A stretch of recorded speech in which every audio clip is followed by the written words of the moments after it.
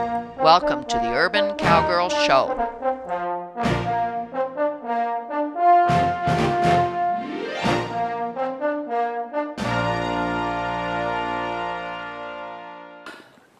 Today we're working on getting a stop from Eve because we had problems with speed control in our last session. We're using the Monty Roberts dually halter, which gives us extra control over her nose with a double-stranded nylon. If you put your lead line on this ring on the side rather than on the flat halter ring underneath, you have, in fact, a training aid.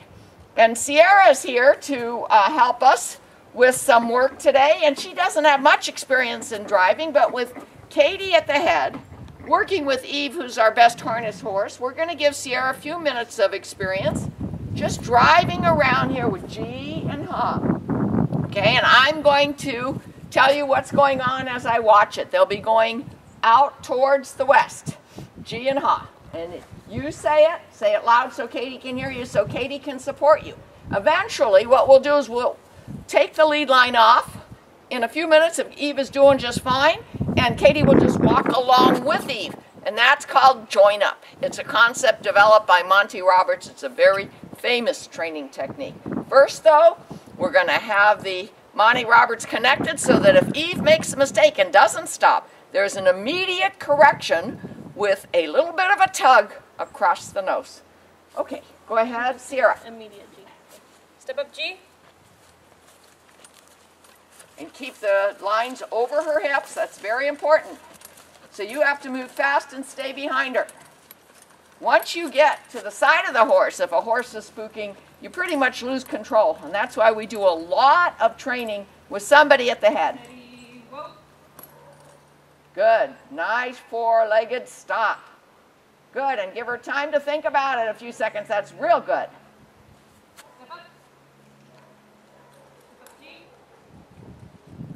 Remember, G means right, Ha means left. The horse is right, now Ha. Horse is left. Step up Ha.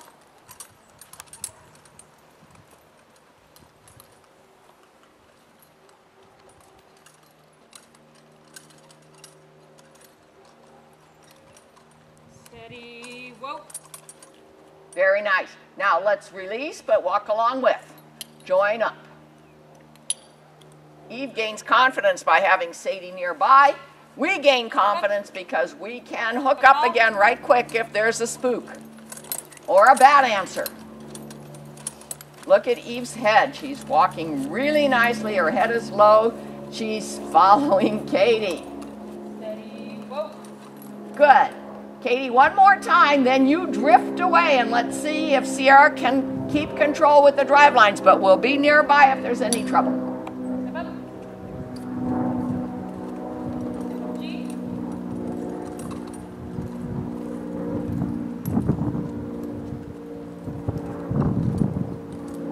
This is really good footing. It's good weather today, even though it's brisk. Step up G. Sierra's been watching the Doc Hammill DVDs and she's learning how to do this. Whoa. Ah, we got the Steady, whoa. wrong answer. Okay, how are we going to deal with that? Katie's going to come up, connect, and we got to go back to square one. Eve just either she forgot or she says, Oh, I don't have to do it if nobody's nearby. But you know, that kind of incorrect answer will fade away with enough repetition where we get the correct answer and remove the pressure when the correct answer is given. Okay, now uh, just uh, disconnect, Katie. We need to uh, bait Eve to go bad. we need to bait her to give the incorrect answer so that she will come to realize that if she gives us the wrong answer, she just has to keep working. Steady. Yes, she certainly knows that word. Keep going. Okay, now go ahead and fade away. If she gives us the right answer with, with Katie fading away for today, we'll call that our note of resolution with Eve's training on stop. See, she knows that Katie's not with her at the head. Step up G. Step up G. Whoa. Okay, a little, one more time. This time stop not so close to the camera because there, there could be a collision. Step up. And slide your hand down the drive lines right now. Slide down the drive lines, your hand, Yeah. so that when you pull back, your elbows don't go behind your body. Okay. But you can, with vigor, uh, let her know that she's giving you the wrong answer or what it is that you really want by tugging back. Sliding the hands down the drive lines is the same as sliding your hands down the rein if you're in the saddle and want to get a one rein stop. Step up paw.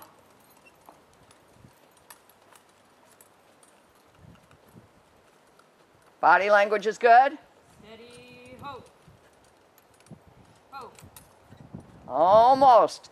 Okay, one more short trip. Step up. Step up G. Eve is a very good dispositioned horse. I'm sure with enough repetition, she'll understand that the wrong answer is not going to give her the opportunity to evade work. Nice, nice. All right, we're calling that our moment of resolution. And the next time we turn on the camera, we're going to do one more thing today. I have a butt rope made out of laundry line. We're going to hook up Eve and Sadie with the jockey stick like we did in our last session. We're going to put the butt rope around, and each of us at the drive lines is just going to hold on to the butt rope. We're not going to connect because we're just not sure yet. We're not confident that uh, either one or both will spook by feeling that rope under uh, around their hip. So we're going to have the ability to remove that pressure that might be a spooking type of pressure, and then just in one small baby step at a time, get them desensitized to the butt rope, and then sensitized to it. And by sensitized, I mean if their hips spread apart when we're doing pairs driving training, that butt rope will apply pressure on their hips and encourage them to keep their hips parallel. The jockey stick is keeping them parallel at the breast. Uh, these are training tips that we got from Doc Hammill's DVD fundamental set.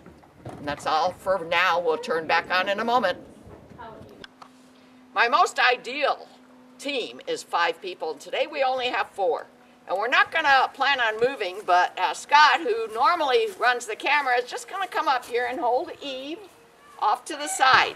We are hooked up with our cross-check reins, and the end of our last session, we explained it step by step how we did that. And in our last session, we also connected our jockey stick, which keeps their fronts together. And we did it at using the halters. Um, and so we're not going to uh, connect up the jockey stick today. What we're doing is doing a desensitization with my laundry line butt rope that I think is the right size. And here's what we're going to do. I'm going to give to Sierra one end of the butt rope. I'm going to very carefully, it's, it's white, it's maybe something, it's um, for sure something they haven't seen. Are they going to spook by just seeing this thing? Looks like we're okay body language. All right, now I'm going to walk around. Can you hold that on your, your other hand? Yeah, right. Now I'm going to walk around. Now Sadie's the one I'm most concerned. You're just going to keep it, keep the butt rope as if it were connected to the halter. And I'm going to touch Sadie, it's all right, with this laundry line as I go around.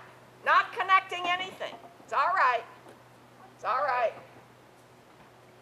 Duck under the drive lines. Tucking, tugging a little bit on her right hip. Still no body language concern. Around Eve. Ah, Eve's head came up. She said, What is that? I'm touching her, giving her confidence. And here it is. Here's the butt rope. We're not going to connect. I don't think we're going to connect yet. We're not going to connect, but here's the butt rope. It gets connected to the halter of both horses. Eventually, we may be able to connect to the collars. The halter of both horses. Now, the next step would be to try to get a step forward. Let me have the lead line. Now, Sierra, can you move the, the jockey stick, Sierra, uh, Scott? I want to see if we can step forward with the pressure of the butt rope on their hips. So we've got our lead lines. Katie's got the drive lines. If we can get three steps forward, well, we'll be happy with today's session. If they get spooked, especially Sadie, you're going to remove the pressure, drop it, or pull it away at the length of your lead line. If you drop it, she may get hung up in it. So it would be better if you just gave her the length of the lead line. We remember we've got drive line control too, uh, and we'll we'll just do it in a tinier baby step. Okay, so I'm going to give the command. We're gonna we're gonna ask for a step up, and then we're gonna let them go straight for three steps, and and kind of pull, right? Okay. We've never done this, so this is a first. Okay, step up, girls. Step up.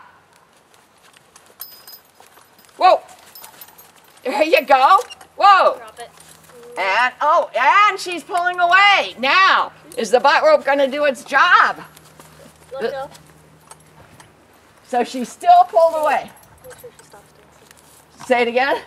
I just don't want her to dance because it's Yeah, right, right, right. Okay, what do you, okay, let's do it without the drive lines next time. So the butt rope pressure, we're, we're studying the, the, uh, how well this uh, training technique works. We don't want to get uh, too many straps involved if there is a spook.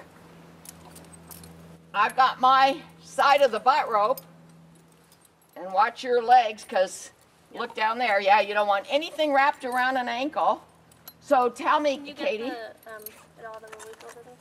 what do you think? It just didn't work, or can, must I- it be a stronger butt rope? More of a rope.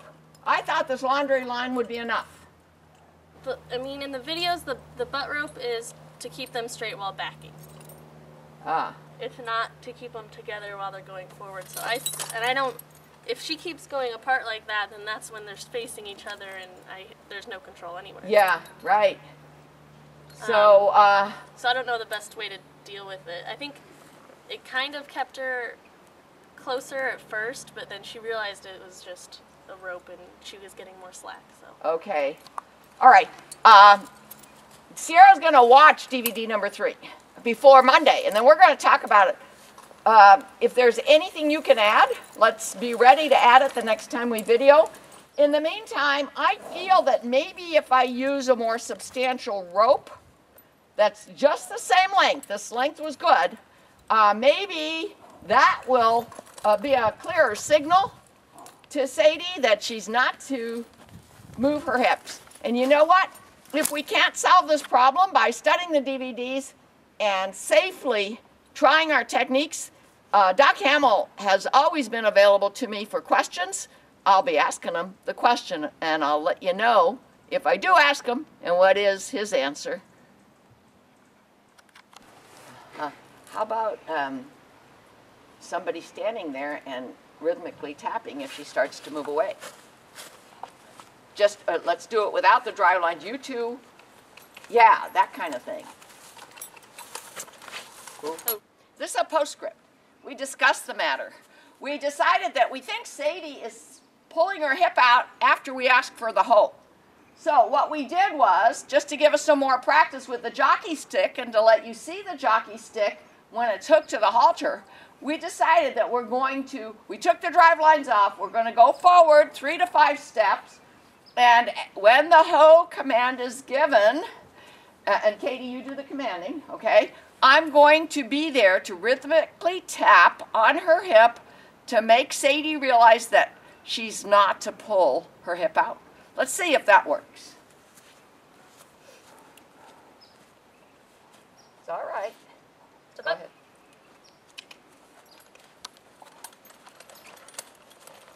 Steady. Ho. I'm just rhythmically, lightly tapping. You know what? It's only one time, but I know from experience that you get a good, you get a good answer, you stop and let them think about it, let them remember it, and you try again next time. So that's what we're going to do. And this technique might work. It's very gentle, but it is a reminder all my horses know how to move their five body parts, including their hips, when they feel pressure at their hips. So we'll just help them to understand what is the right answer when they're walking together. The covered square pen, because it's pouring outside, but that doesn't stop us here at Shadrach Farms. We're going to work with Sadie and her mom Eve on trying to lead together, not drive together, but lead together with this new butt rope that I made that uh, has a little more substance to it than just my laundry line butt rope, but is about the same length. We need to make sure that Sadie understands that when we come to a stop, that she's not to swing her hip out. So we're going to do it today in the square pen with just leading. Then, if time permits, we're going to put this bridle on Eve. It's called a gag bit. There are other elevator bit. Uh, it really does get you a quicker stop than any other bit I've ever used. And we, we're thinking of maybe using it when we're driving her in pairs so that when we ask for a stop, we most definitely get a stop. It doesn't have a shank as one would think of a shank, but it has this ability to go up this road if you're having to tug, and it puts more pressure, uh, bit pressure, on the horse. So we brought this out to try it today or another day with Eve. She did quite well on our practice after last session where um, we worked with her stop. Um, probably, I'd say an 80% rate, but 20% of the time when she didn't stop, um, we really had to join up with her again, even put the lead line on again to remind her, no, no, no, when we ask you to hoe, all four legs stop. Because when we're doing pairs, driving, pulling, stop is so important when we ask for it. Okay, so we keep trying to be realistic, creative, how to get these two horses, mother and daughter, to walk together and stop together. Because in pairs, driving and pulling, uh, not only do they have single trees behind and jockey sticks or the front of the harness pole in front, but they're connected at various places. And if one doesn't stop or one throws its hip out, it could be a wreck. And we constantly guard as best we can here against wrecks by doing uh, tiny baby steps at a time. So uh, I'm going to walk over here with Eve and go up next to, say, can you step out a little bit? I'm going to go on the other side.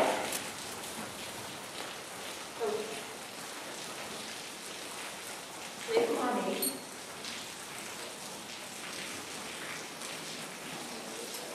We've got the Monty Roberts dually halter around Sadie, and because we switch sides, we have to switch the lead line. They've been stopping fine when they're walking up already. How about the hip? They've been keeping them straight. They have, but you said that Sadie reared? She's just been acting up in the. Okay, weather has a lot to do with it, and that's why we're in this square pen, not because we just don't want to get wet, we don't want the camera to get wet, but it's more of a controlled environment. So, oh, and there's uh, pigeons in here, and one just flew overhead. You probably saw Sadie look up. You know, is that a monster from outer space? Here's another pigeon. But Sadie lives in here. This doubles as a nighttime retreat for my herd of Morgans. So uh, I think she's okay on it. Um, but she is a little bulgy-eyed. Now, Angela, at first, is going to leave the camera right where it is and come on over here and hold it. And what I'm going to do, just with this new, with this new butt rope, Angela wasn't here yesterday. What you're going to do is you hold the Eve, but you're going to hold this too. And watch, I'm going to apply pressure. This butt rope is, uh, it's a, uh, not a wide diameter rope, but it does have, uh, it's nylon and, or polyethylene, and it does have texture. So I think it will be a little bit more obvious to the horses when I go around their hips and touch them with it. This is the first time I've tried this.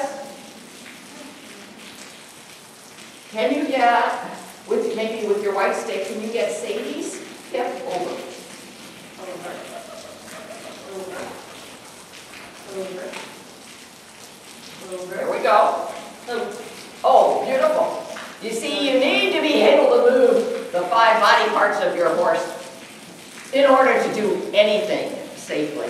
So we did get her hip over. Now watch, I'm touching her hip. He was fine on it. Notice we don't even have the harness on. We don't need all of those straps and all of that leather. Can we hold on to this? Okay, arm extension? Okay, now, I wish we had a third, uh, fourth person today, but we won't for another hour, so we didn't want to delay our lesson. So now the question is, let me make sure we're still in camera's view, because I want to be there with this white piece of PVC, it's perfect, uh, to rhythmically tap Sadie's hip if she tries to move it out. And we're only holding the butt rope. We're not connecting it to their halters because if we need to remove it because it's misinterpreted and becomes a spooky object, we want to be able to quickly remove it. Okay, so I'll be the one to ask for the uh, step up. I'm saying that quietly because they hear these words in our conversation and sometimes interpret them as a request. Sadie is the one that I expected. And when they stop, to have her hips come out. Good. But um, she's just standing beautifully as a pair now with her mom. Oh, all right. All right, the eye. She heard something. Remember, it's a stormy day. There might be some sounds that she hears or sights that she sees that we don't hear and we don't see. Now, do you two girls feel comfortable stepping forward when I ask for a step up? Okay. All right, we're going to do three steps. Okay. Girls, mares, step up. Oh, whoa. Ah, ah, ah, ah, see that back leg came up. I hope you saw that on the camera. It was a beautiful pair's movement, but then Sadie felt that butt rope on the left rear leg, and it was high up. But did you see that, Katie, how she um, lifted up that leg? And that's what can be so very dangerous. The sled wreck that I talked about maybe two shows ago, uh, the uh, trainer thought his uh, two draft horses were well trained as a pair. Okay, up you go, up you go. Uh, Angela, make sure yours is up, even though it's E, we're not too worried. Uh, and then when he tried to do a G movement on a slight hill, I'm going to go back there and lift that higher. Um, one of the horses stepped over the harness pole. Both horses spooked, and it was a very, very uh, gory description of what that wreck was like. So uh, now, uh, Katie's butt rope, I'm going to move this camera and show you, is at a good height. And when I watch uh, pairs driving on RFD TV and on old westerns, when I see a harness pole or tug strap that high, I kind of relax. But if I see it down low, below the hock, I get nervous, even though I know it wouldn't be uh, on video in an old movie on RFD TV if there's a big wreck. But now look at where Eve's butt rope is. See, and when we're in harness, we're going to have dog collars to hold up these butt ropes. But I'm going to walk over now and put it where I want it to be.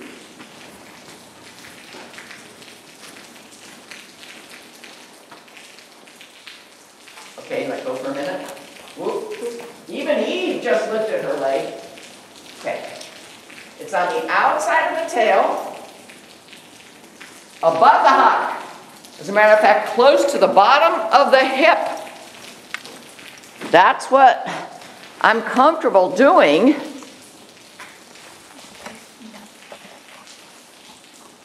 When I do pairs, driving any strap that I drive with, I, or any pole, I want it to be not much lower than where you see that butt rope right now. All right, now, uh, Sadie is the one that we're really concerned about because she's the youngster and the one who tends to lift her leg and throw out her hip. Yeah, can you pull your butt rope a little closer to her head and Angela, you give a little with your end. There you go. That's good to desensitize her to that feeling. A little more, Angela. See, they're long enough to actually hook to the halters. We're just not going to do it today. All right, now I'm going to step back and as uh, I hope a good note of resolution, if they're high enough, which both butt ropes are, and we step another three or four steps forward, and if I need to, I will use my arm extension to tap Sadie's hip to keep it in parallel with Eve. Then we're going to say that's all for today. So, once again, they look good together. Their breasts are a little bit far apart, but if we have the jockey stick on, uh, that will be under control. We just aren't using the jockey stick today. Okay, so I'm going to ask for step up. Say, step up, Eve. Step up. One, two, three. Whoa. Good girl. Good girl. Now we're going to remove the pressure of the butt rope. We're going to stop the work, which is their reward. And we're going to do this over and over and over again, with and without surcingles. Oh, oh, oh. There you go. You see why we have to do that with or without surcingles. And um, dog collars uh, on the hips, on the britch and on the hips, to keep those butt rope training devices up, out of the way, because you know what? You're not going to change the nature of the horse. You need to understand the nature of the horse. And then maybe you can control the wrecks and not have them. So that's all for today. See more at www.urbancowgirlchannel.com